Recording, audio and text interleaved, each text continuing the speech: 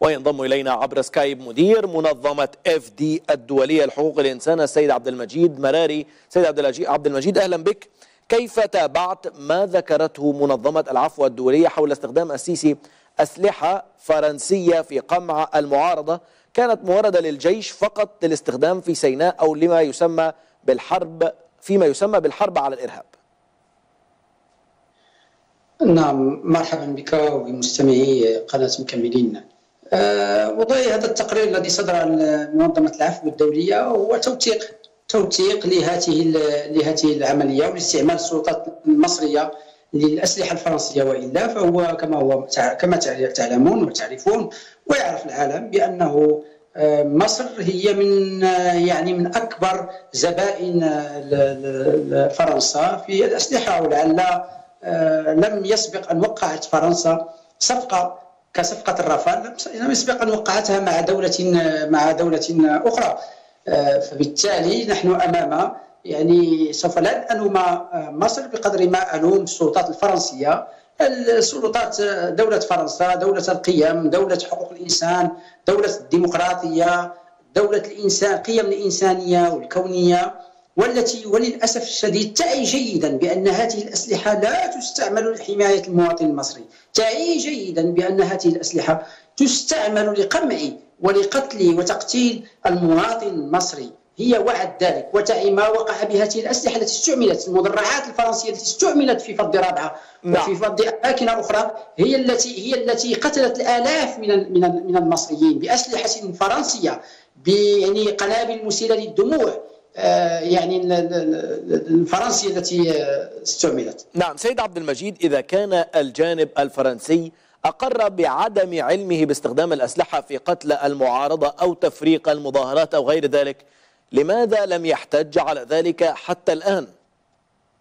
لا لا سيدي للتصحيح أعتقد في بداية هذه السنة في 2018 وبالضبط في في شهر اثنين يعني من فبراير يعني فبراير توجهت عدد من المنظمات الحقوقية بشكوى إلى المدعي العام الفرنسي.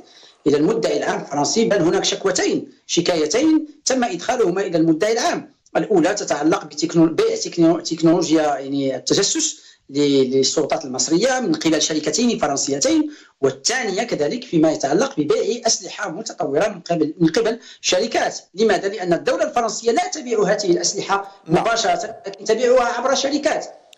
فتم إدخال هذه هذه الدعوى إلى المدعي العام لفرنسا. وفتح المدعي العام تحقيقا في الموضوع واستمع إلى يعني المدراء العامون لتلك الشركات. فبالتالي كانت هناك خطوات حقوقية كما تم التوجه إلى البرلمان الأوروبي كما تم التوجه إلى المفوضية الأوروبية لحقوق الإنسان وتم استصدار توصيات من البرلمان الأوروبي بعدم تزويد مصر بالأسلحة وبتكنولوجيا التجسس لأنها لا تحترم التزاماتها بمجال حقوق الإنسان. ونعي جيدا وتعلمون بأنه من شروط استكمال العقود الأوروبية. هناك شرط وأنا أقول أنه شرط صحة في العقود جميع عقود جميع الصفقات فيها شرط. أهم شرط في هذه الصفقات هو أن تلتزم مصر بالتزام أن تحترم مصر التزاماتها الدولية في مجال حقوق الإنسان.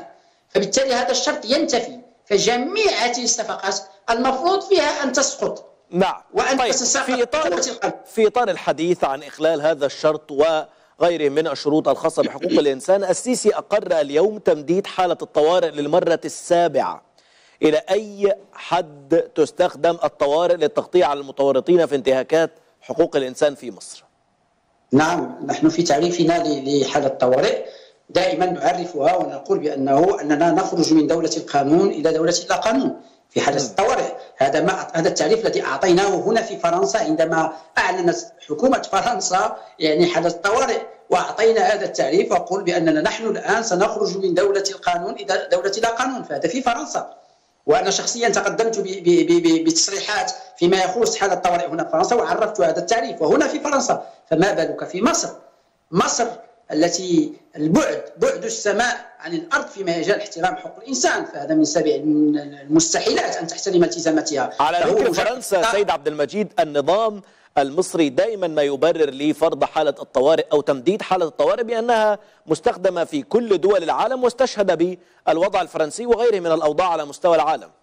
نعم لكن فرنسا لكن فرنسا كما تعلمون هناك آلية أوروبية لمراقبة الدول الأوروبية مدى احترامها عندما تعلن حالة طوارئ هناك آلية تتذكرون معي أن فرنسا عندما أقدمت على على إعلان حالة الطوارئ جمدت جمدت توقيعها على الاتفاقية الأوروبية حتى لا تحاسب بها. وكذلك فهذا ليس ليس الحال في مصر. مصر الحالة الطوارئ عندها الهدف منها ليس هو الهدف الفرنسي لا الهدف في فرنسا هو استتباب الأمن.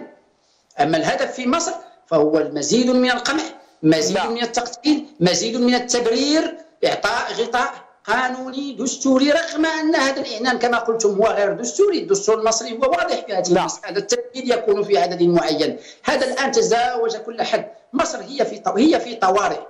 هي في لا. طوارئ. سواء كانت بلا طوارئ أو طوارئ فهو الرجل ينفذ قانون خاص. ليس هناك عبد المجيد أخيرا في إطار هذه القضية المتعلقة بتوريد أسلحة فرنسية إلى مصر واستخدام ذلك في قمع المظاهرات والمعارضة. من وجهة نظرك إلى أي مدى يمكن استغلال ذلك أو هذه الواقعة في الدعوة إلى منع توريد الأسلحة لنظام السيسي؟ نعم في الأيام القليلة القادمة نحن متوجهون إلى البرلمان الأوروبي ومتوجهون إلى المفوضية الأوروبية في مجال آخر يعني في مجال أحكام الإعدام ومتوجهون بنداء إلى ذلك ونحن معتمدون في ذلك على اتفاقيات التي نعم. أبرمتها فرنسا وأبرمتها العديد من الدول الأوروبية مع البر... مع الدول مع دول أوروبية وسنستشهد في ذلك بفصول بعينها في هذه الاتفاقات نعم. التي تسقط قانونيه هذه الاتفاقات وتسقطها بحكم القانون لانها لأن هناك شرط كما قلت في البداية وشرط صحة ينتفي وأحكام الإعدام هي منافية مع مبادئ الأوروبية. أوروبا تلغي لا تعترف بعقوبة الإعدام وتوقع صفقات مع دولة تنتهك حق من حقوق الإنسان حقوق حق أساسي من حقوق الإنسان وهو الحق في الحياة ولا زالت تطبق عقوبة الإعدام وتطبقها خارج إطار القانون. نعم. نتحدث خارج إطار القانون. حتى الإعدام الذي يتم وفق أحكام قضائية تتم وفق أحكام أو قرارات إدارية فاقدة لكل أساس قانوني ولكل شرعية مبنية على تهم باطلة وعلى محاضر شرطة مرفقة. مدير منظمة اف دي الدولية لحقوق الإنسان بفرنسا الأستاذ عبد المجيد مراري شكرا جزيلا لك.